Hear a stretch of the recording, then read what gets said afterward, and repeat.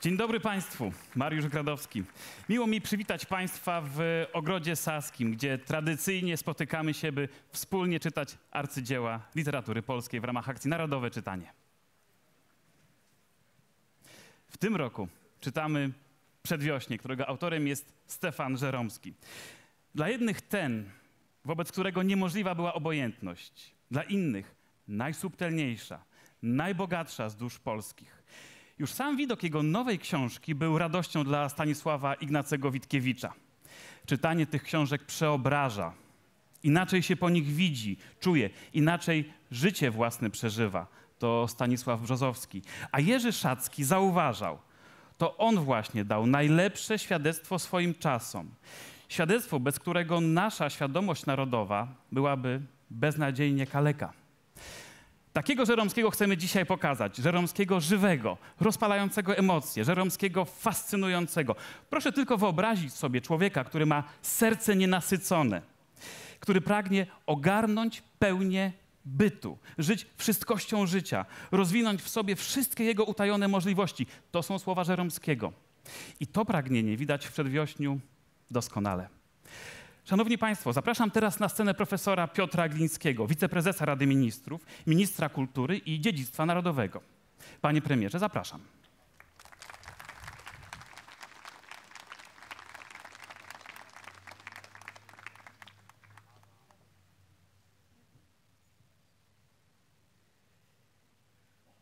Panie prezydencie, pani prezydentowo, panie ministrze, panie i panowie, skoro mamy narodowe czytanie, to ja też przeczytam to, co mam do pa państwu do powiedzenia. Nie trzeba nikogo przekonywać, że czytanie jest sposobem poznawania świata, pozyskiwania wiedzy, kształci formy komunikacji i co warto podkreślić, jest źródłem przyjemności. Ja na przykład bardzo się cieszę na dzisiejsze czytanie, bo tak jak już to było powiedziane, czytamy rzecz szczególną, szczególnego autora. Idealista, człowiek misji, idei, wizji i jego literatura też taka była literatura na poważnie o ważnych polskich sprawach, a jednocześnie bardzo piękna. Ale oprócz tego wymiaru indywidualnego, czytanie ma również istotny wymiar społeczny. Poziom czytelnictwa, proszę Państwa, wszyscy o tym wiemy, przekłada się na szacunek dla kultury, pogłębia jej znajomość, przekłada się także na takie istotne elementy, wymiary potencjału społecznego jak kapitał społeczny. Poziom czytelnictwa to jest coś bardzo ważnego, o co musimy dbać. Czytanie jest jednym z podstawowych warunków zaistnienia wspólnego kodu kulturowego, a kod kulturowy w zasadzie kształtuje naszą tożsamość, decyduje o niej. Ten kod kulturowy, zestaw pojęć, tradycji i odniesień, które budują daną społeczność, przekształca zbiór ludzi we wspólnotę.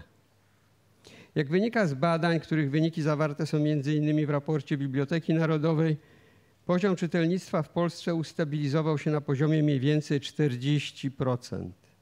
Oznacza to, że większość Polaków niestety nie ma nawyku czytania, a z tego można wnioskować, że nie, mo, że nie uważa literatury za wartość istotną. Ja myślę, że może aż tak źle nie jest. To z wielu innych powodów, z uwagi także na okoliczności naszych zmian społecznych i gospodarczych, na zaległości wynikające y, z funkcjonowania w poprzednim systemie.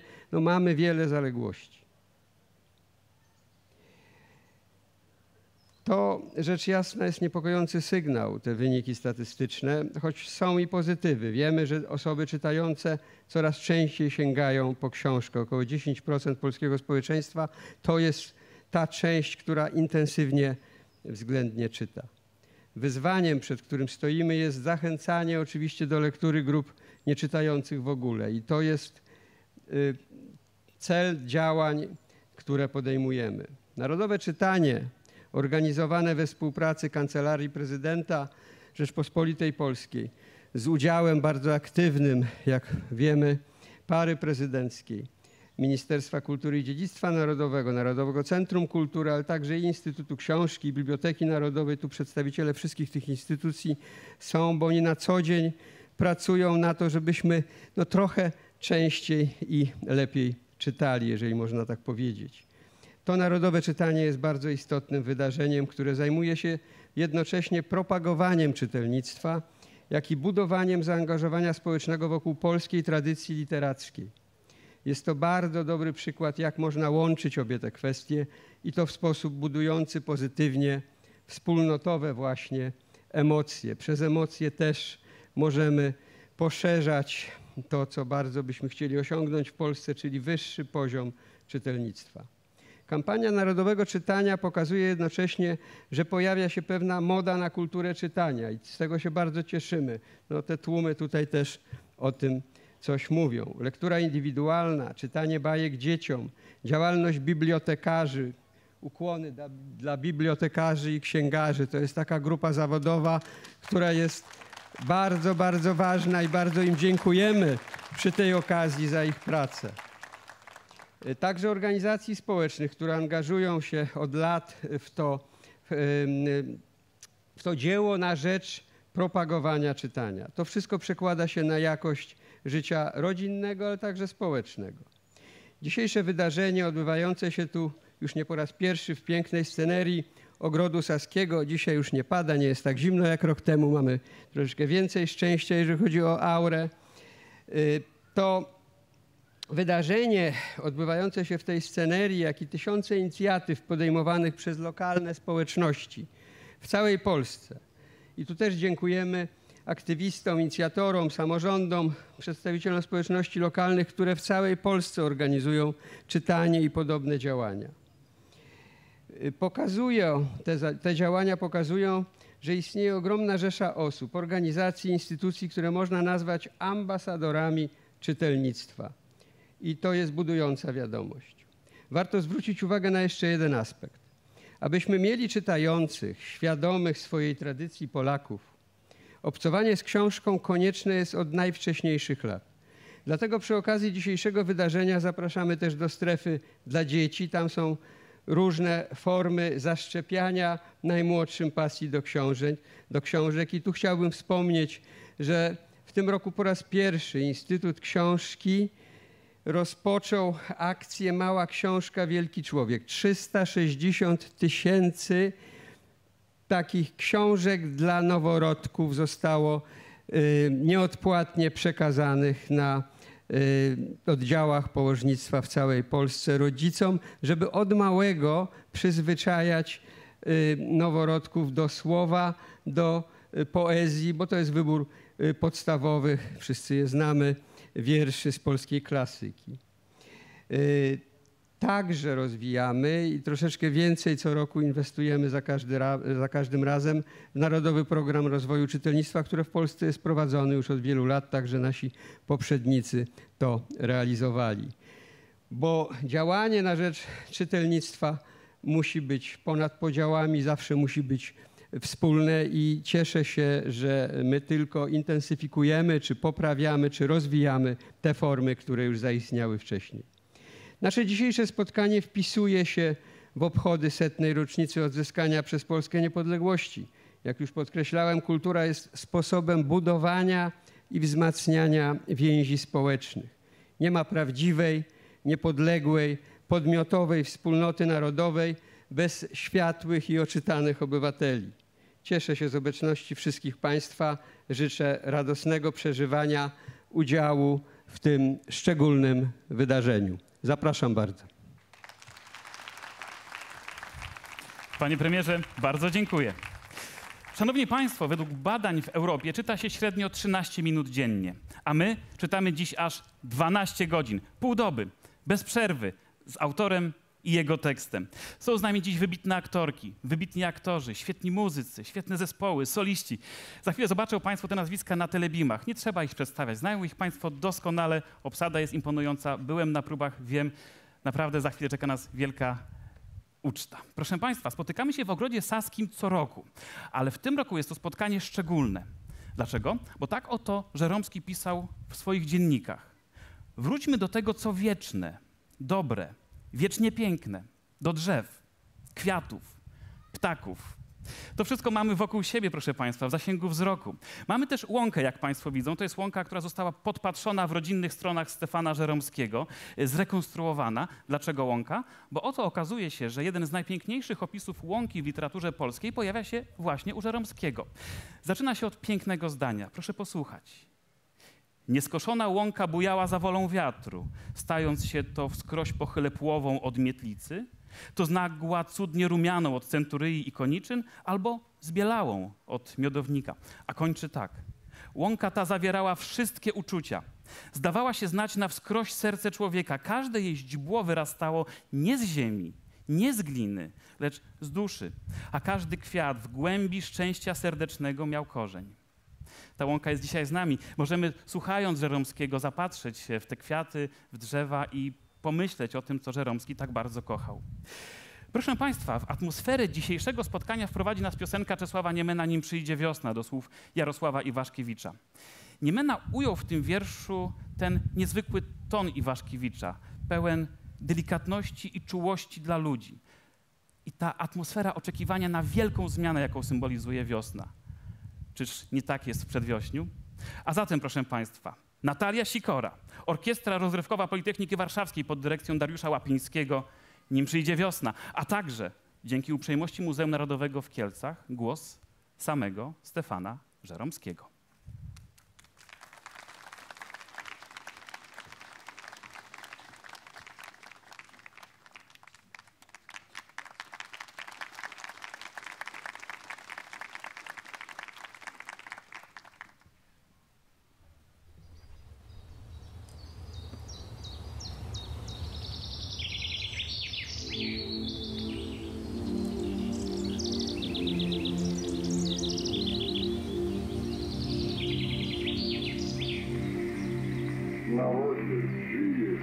I trwa jego przeszłość, prężą się siły, czyny, dąże i idee na światu, rzeczywiście stające z nas. Naród jest ten, co w środowiskach ludzi na zdrowie ziemskim jest najbardziej istotnego, najściślej prawdziwego.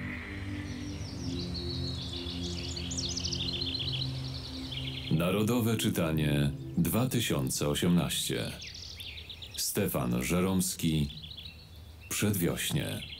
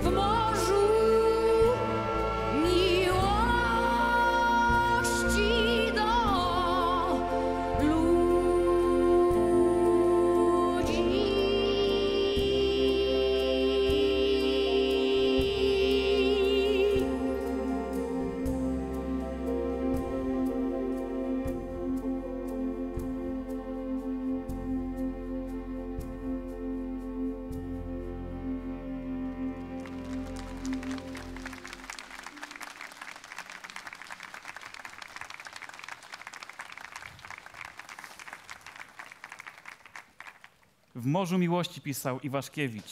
Jeśli wczytać się dobrze w przedwiośnie, to widać wyraźnie, że i tam jest morze miłości do ludzi Stefana Żeromskiego.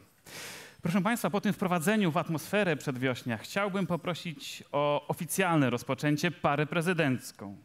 Prezydent Rzeczypospolitej Polskiej, pan Andrzej Duda i pierwsza dama, pani Agata Kornhauser-Duda. Panie prezydencie, pani prezydentowo, zapraszam.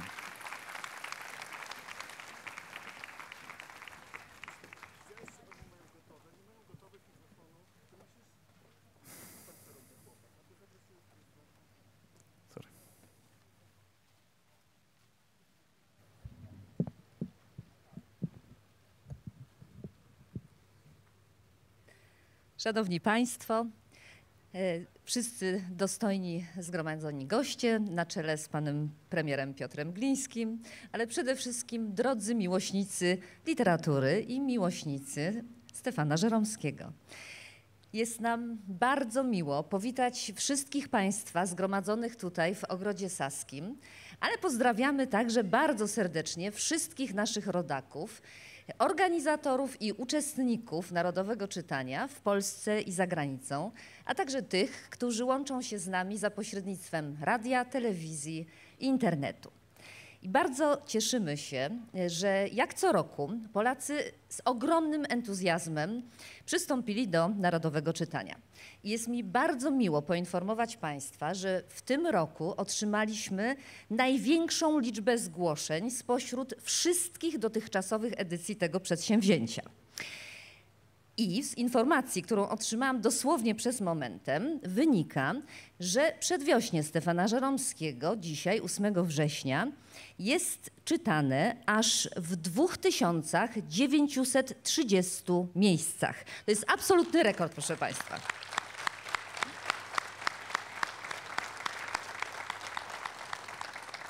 Tym samym został pobity rekord Quo Vadis.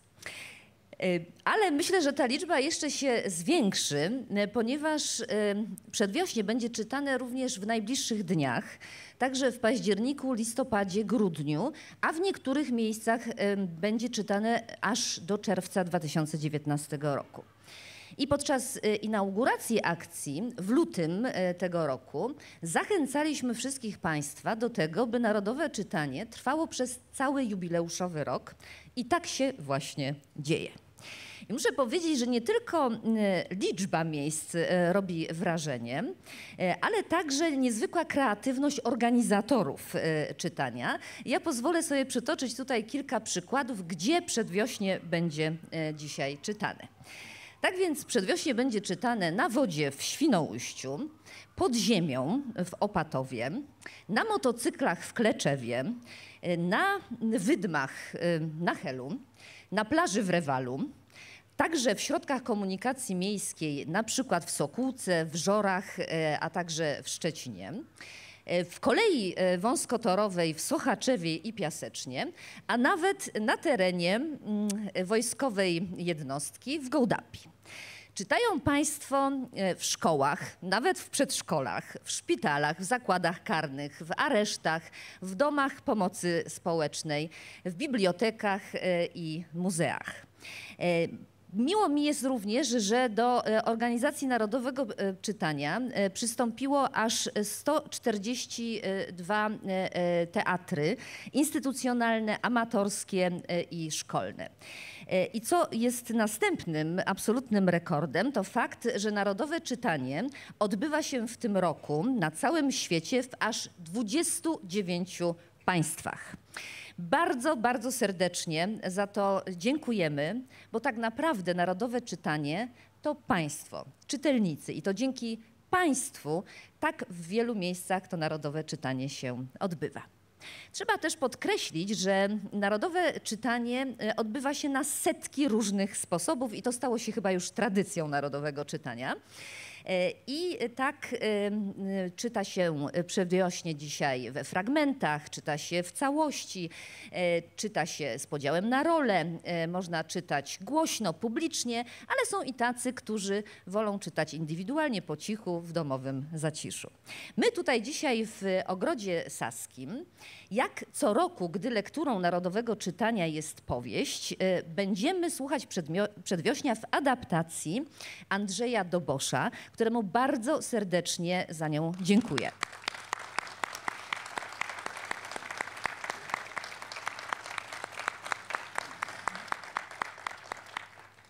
Interpretacji wspaniałych aktorów y, i z towarzyszeniem y, znakomitej muzyki. Wszystkim artystom już teraz bardzo serdecznie dziękuję za udział w tegorocznym Narodowym Czytaniu. Tak więc sposobów jest bardzo wiele, e, ale to, co w tym roku łączy, to oczywiście przedwiośnie, e, jego bohaterowie, e, ich losy, a także problemy, które ta powieść porusza. No i oczywiście autor przedwiośnia Stefan Żeromski. Szanowny panie premierze, szanowni państwo, a przede wszystkim ten rzeczywiście niezwykły moment w naszej historii, jakim jest rok stulecia odzyskania niepodległości. Można zadać sobie pytanie, czy jest w naszym kraju, w naszej literaturze powieść bardziej pasująca do tego niezwykle uroczystego roku, która mogłaby zamiast przedwiośnia stać się tą powieścią, tym dziełem literatury, który będzie czytany. Odpowiedzieliście Państwo na to pytanie, bo przecież propozycji, które zostały zgłoszone do tegorocznego Narodowego Czytania, było cały szereg i spośród nich wszystkich internauci i Państwo czytelnicy wybrali właśnie przedwiośnie Stefana Żeromskiego. Stefana Żeromskiego, o którym bardzo często mówi się, że jest sumieniem polskiej literatury, że jest e, sumieniem polskiego narodu. Dlaczego? Dlatego, że nie tylko w niezwykły sposób przeżywał kwestię polskości, polskiej e, niepodległości, odzyskania wolności w tych czasach, e, w których, w których żył i później kształtowania się tej już wolnej od 1918 roku wracającej na mapę polityczną Europy Rzeczypospolitej, tego co się w niej dzieje, tego jakie są w niej poglądy, w jaki sposób one się ze sobą ścierają, ale także walki o obronę jej granic, to wszystko przeżywając niezwykle skupił właśnie w tej wspaniałej powieści, jaką jest Przedwiośnie, w której polskość tak wspaniale jest pokazana, ale jednocześnie to dążenie do Polski i do polskości właśnie poprzez osobę Cezarego Baryki, jego ojca, tego Cezarego wędrującego do Polski, a zarazem z pytaniem, jaka Polska, po co Polska, tyle takich spraw, które nurtowały wielu ludzi e, w tamtym czasie, a jednocześnie to ogromne i wielkie pytanie, jaka Polska? Jaka Polska? Czasem mówi się, że, że właśnie przedwiośnie Stefana Żeromskiego jest taką powieścią na wskroś polityczną. To jeżeli popatrzy się na tamte czasy, to być może tak, ale my dzisiaj żyjemy tutaj w naszych realiach i my patrzymy na nią także jak na, jako na wielką opowieść o dziejach naszego narodu i wielką e, opowieść o naszej historii ale także o tym, co się wtedy działo, jak kształtowała się sytuacja ekonomiczna kraju, ja- jak ludzie żyli, do czego dążono. To wszystko można wysłuchać na kartach właśnie przedwiośnia Stefana Żeromskiego, z którego wypływa cały czas to wielkie zdanie, że Polska potrzebuje wielkiej idei. O tym właśnie będziemy dzisiaj czytali, o tym właśnie będziemy dzisiaj słuchali z lektury tej wspaniałej, wielkiej polskiej powieści Przedwiośnia Stefana Żeromskiego, której czytanie właśnie w tym momencie zainaugurujemy. Agato, bardzo proszę Cię, rozpocznij.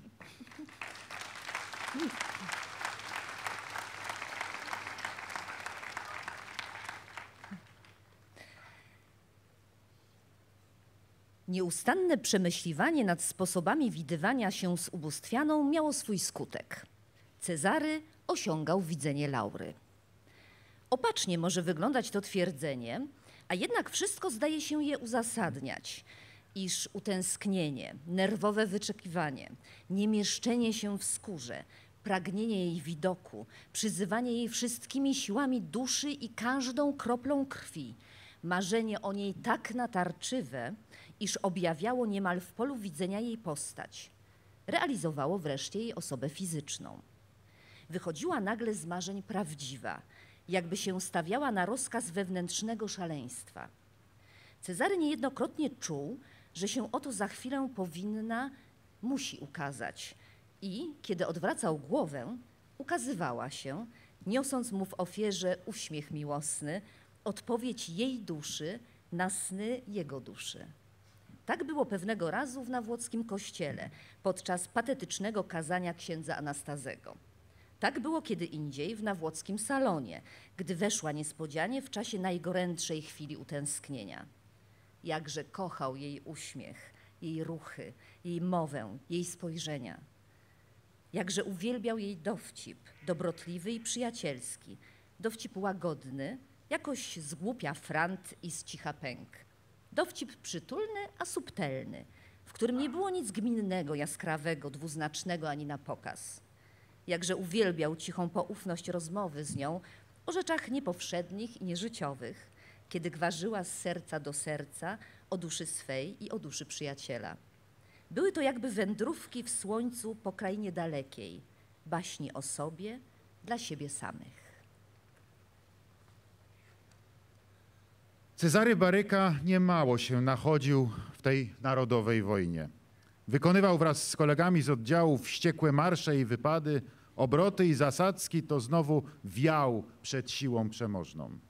Zdarzało mu się iść w sam środek nieprzyjaciół, uczestniczyć w brawurowym przedsięwzięciu generała Sikorskiego, jak pchnięcie bagnetu rozpruwającym front bolszewicki. Zdarzało mu się maszerować dniami i nocami naprzód, wciąż na wschód za wrogiem uciekającym. Przesunęły mu się przed oczyma niezliczone wsie i miasteczka, lasy i pola. Przebrnął rozlewne rzeki wśród łęgów. Ojcowskich szklanych domów nigdzie, a nigdzie widać nie było. Zwolna przestał o nich myśleć. Nie myślał także o ideologii najeźdźców ze wschodu. Nie widać jej było w ruinie, w zniszczeniu, tratowaniu, w śladach rabunków, rzezi i gwałtów. Wróg śmiertelny ludzi ubogich szedł przed nim wszystkimi drogami na wschód, niszczyciel i rabuś. Gdzie były żelazne mosty, wisiały poprzetrącane ich gnaty. Gdzie były mosty drewniane, sterczały osmalone bale. Gdzie były wsie, stały porozwalane pustki. Gdzie cokolwiek pięknego, wzniosłego, przeszłość zostawiła potomnym na tej ziemi ubogiej, widniała kupa gruzów. Jakże tu było odczytać, doczytać się w tym piśmie najeźdźców ze wschodu idei głoszonych przez mówców wiecowych.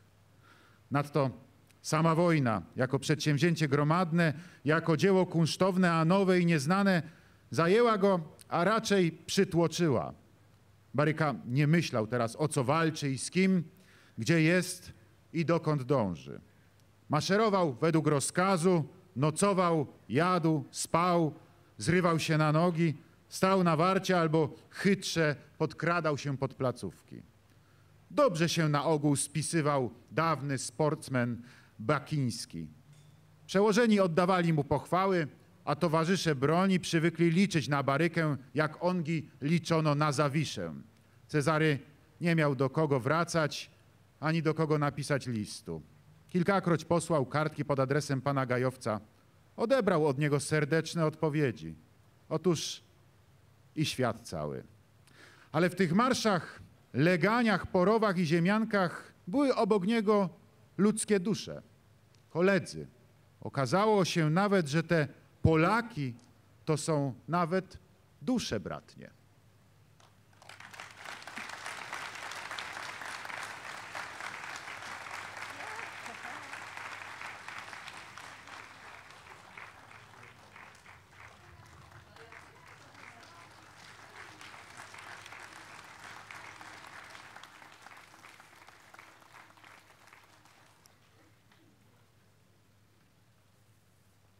Proszę Państwa, jeszcze korzystając z tego momentu dla nas przedpołudniowego, a dla naszych rodaków mieszkających w odległych zakątkach świata już wieczornego, chcieliśmy bardzo serdecznie pozdrowić naszych rodaków w Nowej Zelandii, w Christchurch, który, którzy prawdopodobnie dzisiaj rozpoczęli przed wieloma, wieloma już godzinami narodowe czytanie. Dziękujemy im bardzo i serdecznie pozdrawiamy ich z Warszawy, z Parku Saskiego. Panie prezydencie, pani prezydentowo, dziękujemy bardzo.